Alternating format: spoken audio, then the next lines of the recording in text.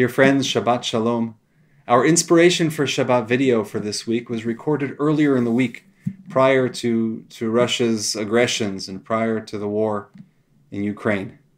And I wanted to add, before getting back to our regularly scheduled programming, to, to add these words of, well, a blessing of prayer. When we say Shabbat Shalom, the emphasis well, this week and always is on that word Shalom.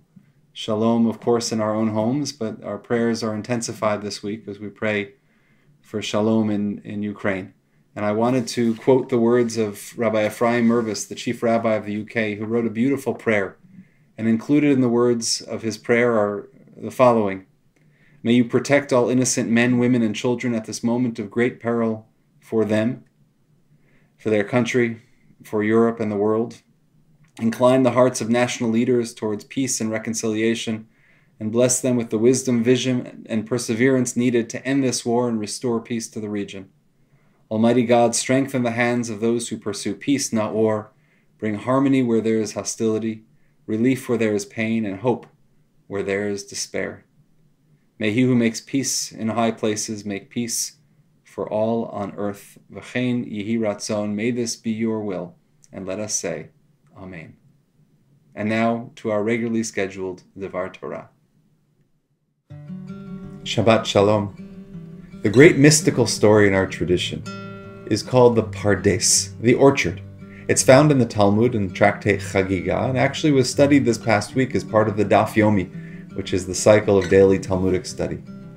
And it tells the story of, of the orchard, this deep mystical place which no one knows what's inside, but four are brave enough to encounter it. Four sages. Their names are Ben Azai, Ben Zoma, Elisha Ben Avuya, and Rabbi Akiva. And each has a different response upon entering the Pardes. Each responds to that place of, of deep mysticism, of secrets in a different way. The first, Ben Azai, he loses his life. The second, Ben Zoma, loses his sanity. The third, Elisha ben Avuya, whose nickname is Acher, the other, the outsider, his response is to lose his faith. And Rabbi Akiva, as the Talmud says, Nichnas b'shalom v'yatza b'shalom. He entered in peace and he left in peace as well. When encountering complexity, depth, and even chaos, how do we achieve that that level of peace, that Rabbi Akiva level of peace. In our Torah portion this week, we're, we're presented with Moses gathering the entire people, and this is coming in the aftermath of the sin of the golden calf.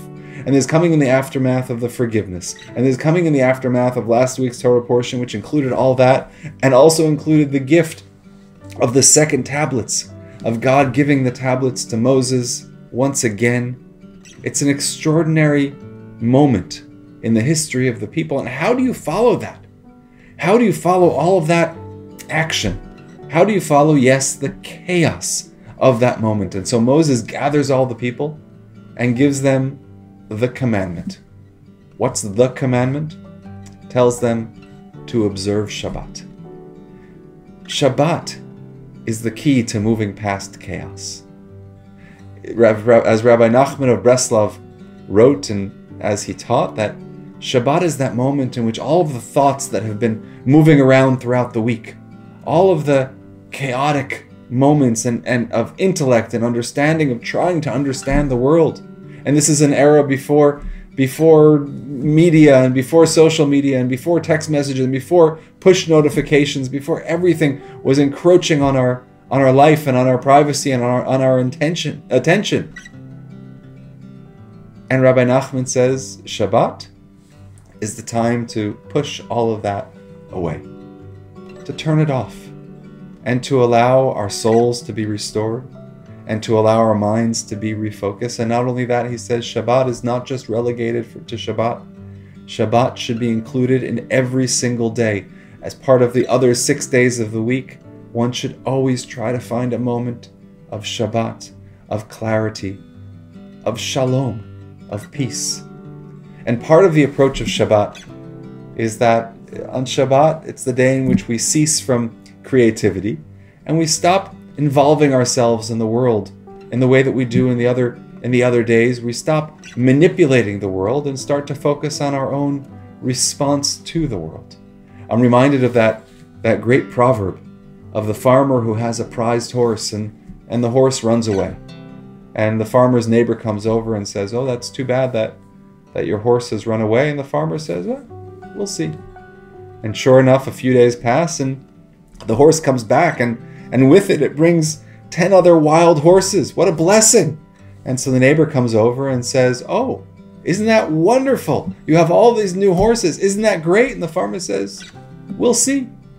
And then the farmer's son is riding one of the new horses, and the horse is a little bit too wild, and the, and the young man, the young boy, falls off the horse and breaks his leg. And the neighbor comes over and says, Oh, that's that's really too bad. And the farmer says, We'll see.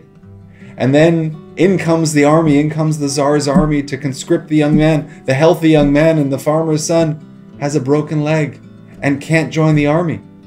And the neighbor comes over and says, Wow, what a blessing! And the farmer says, We'll see. So much of life is trying to process these moments and trying to process these developments. Is it good? Is it not? Is it a blessing? Is it a curse? But the response and the one response we can have is how we react. And the ideal of Shabbat, it's not to be passive, but it's to be in control.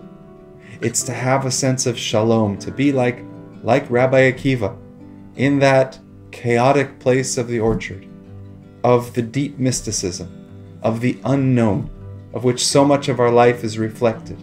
We just don't know, we just don't understand. But to be nichnas b'shalom, v'yotzei b'shalom, to enter in peace and to leave in peace, does not mean to step back and do nothing, but it means to be in full control of how we respond to the challenges of the world. I wish you a Shabbat Shalom. Shabbat Shalom. This Shabbat is known as Shabbat Mevarchim, the Shabbat on which we bless the arrival of a new month in the coming week.